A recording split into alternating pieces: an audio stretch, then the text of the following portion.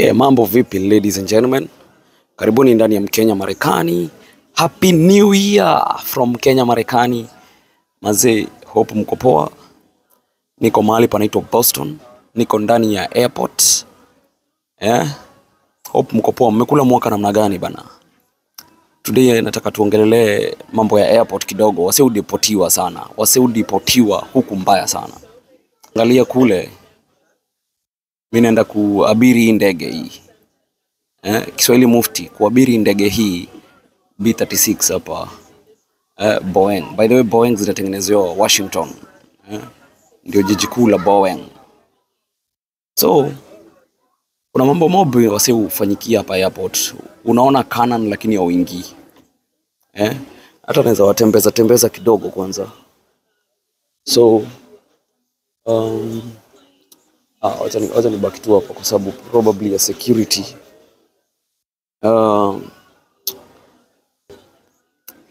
wasiudipotiwa hapa airport kwa nini? Kwanza kudipotiwa, kudipotiwa ni ku, kuonekana umeingia Amerika kwa njia ya kulaghai. Ulaghaifu si si vizuri ukiingia Amerika. Yeah?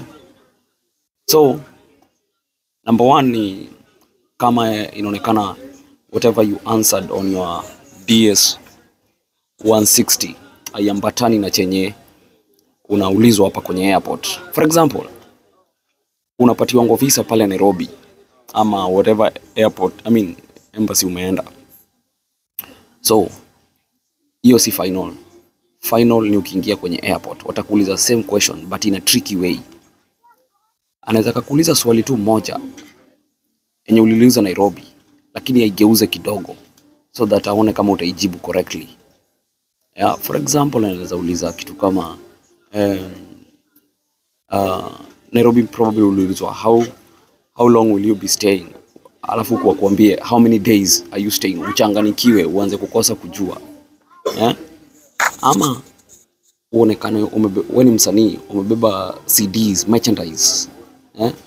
Waone unakuja biashara na ulikuwa umesema unakuja mission, ama ukuje na bidhaa ambazo hazifai kubebwa kwenye airport. Kuna vitu mingi sana hazi- hazi- hazifai kubebwa kwenye airport by the way yeah? Ama sometimes eh, host wako waseme ya kujui hmm? Tumempata situation kama hizo eh? Host wako anasema ah, huyo mtu simjui eh, so wanaushindwa wewe unaenda wapi basi kama hujulikani na mali unaenda. Another thing ni eh, biashara, kuchapa biashara US. yeah?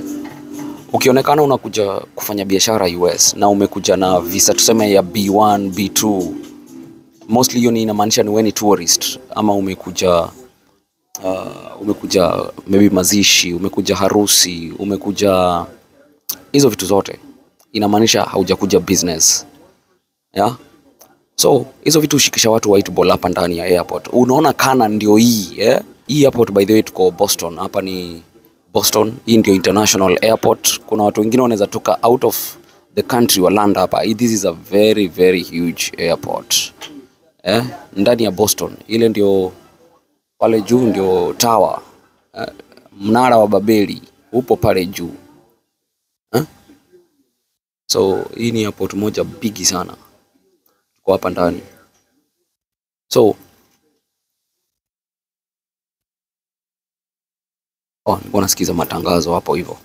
So mazee, ukikuja ukikuja uh, Amerika, kwanza kitu kingine usitangazie watu unaenda, usipige maselfie ndio uanze kuitia na chai na uja uja, ujaingia kwa ndege na kuingia kwa ndege sikufika Amerika, kufika hapa kwa airport alafu ufike huko nje eh? Hiyo sasa ndio umeingia Amerika. Eh? Unatulia, unatulia. Na kama pia una kemboi bana my friend, pia cheza chini. Eh? Sikue sikue unatangazia kila mtu maana si kila mtu anakutakiaga kila la heri, so always keep it low. Yeah, keep it low. Wasi wasijue wasi wasijue ni, ni shughuli gani unafanya. Cause huwezi jua, huwezi jua. Wacha niende ile side ingine nione kama kuna vitu mnaweza ona. Let me pause first. Yeah. So, tunaona ni airport moja bigi sana, na hii ni part tu kwa kiasi. So hapa hivi ndio mnaingiliaga, mnaenda pale kwenye ndege. Ah, kuna different types za huku local local flights. And by the way, local flight hauhitaji hauhitaji any ya local flight hauhitajingi any any passport, unahitaji tu ka ID ka ID pekee.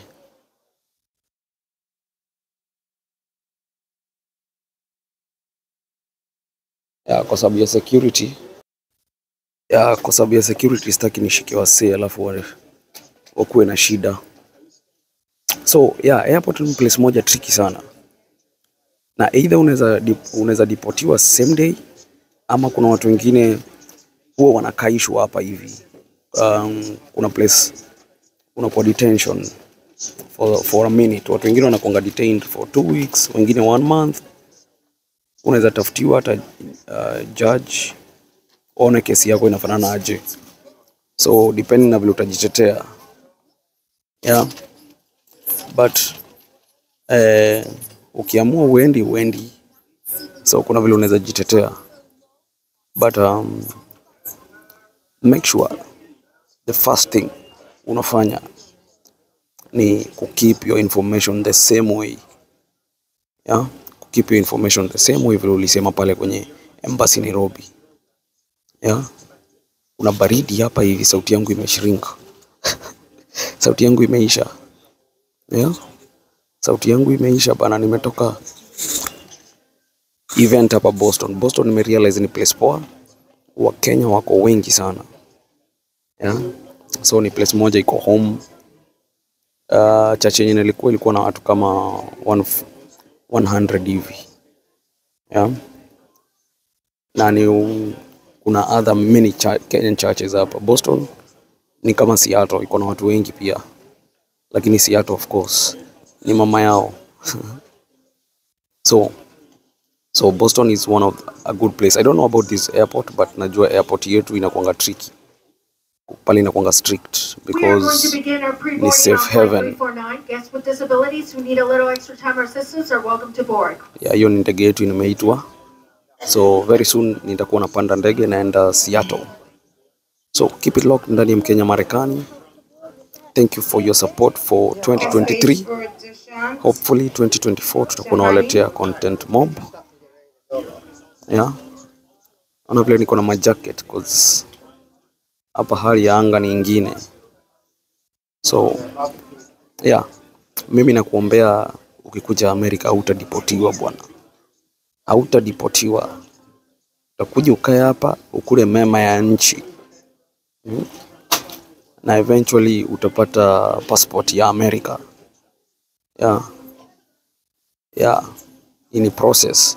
But uh, I think I'll tell you the process to become a US citizen. Because 2023, I became a US citizen. No, was it 2023? Ama ni 2022? Sikumbuki hata. Yeah, and I already applied for the passport ikatoka hiyo. So I have a passport. You have two types of passports. But anyway, story for another day. So, keep it ndani ya Mkenya Marekani. Utakapokuja Amerika hautadipotiwa. Utakuja ukae na sisi na upatane na Mkenya Marekani, umsalimie, umnunulie chai kwa sababu alikumotivate. Bwana asifiwe. Keep it ndani ya Mkenya Marekani, the place to be. God bless you.